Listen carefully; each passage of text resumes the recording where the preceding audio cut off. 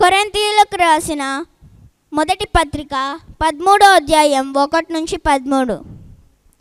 మనుషుల భాషలతోనూ దేవదూతల భాషలతోనూ నేను మాట్లాడినను ప్రేమ లేని వాడనైతే బ్రోగడి కంచును గనగన తాళమునే ఉందును.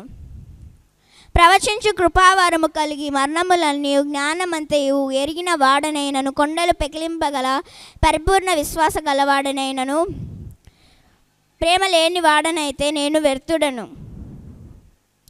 బీదల పోషణ కొరకు నా ఆస్తంతా ఇచ్చినను కాల్చబడుటకు నా శరీరాన్ని అప్పగించినను. ప్రేమ లేని వాడనైతే నాకు ప్రయోజనం ఏమీ లేదు. ప్రేమ దీర్ఘకాలం సహించును దయ చూపించును ప్రేమ మత్సరపడదు ప్రేమ డంబముగా ప్రవర్తించదు అది ఉప్పొంగదు.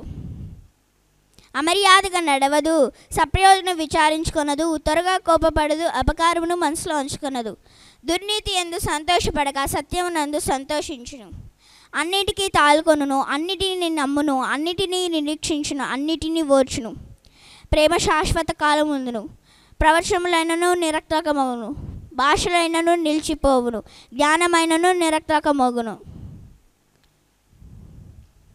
మనం కొంత మట్టుకు ఎరుగుదుము కొంత మట్టుకు ప్రవచించుచున్నాము కానీ పూర్ణమైనది వచ్చినప్పుడు పూర్ణంగానే నిరక్తకమగును నేను పిల్లవాడినే ఉన్నప్పుడు పిల్లవాని వలె మాట్లాడుతుని పిల్లవాని వలె తలంచి తిని పిల్లవాని వలె యోచించి తిని ఇప్పుడు పెద్దవాడినే పిల్లవాని శ్రేష్ఠులు మానివేస్తుని. ఇప్పుడు అద్దంలో చూచినట్టు సూచనగా చూచుచున్నాను. అప్పుడు ముఖాముఖిగా చూతుము.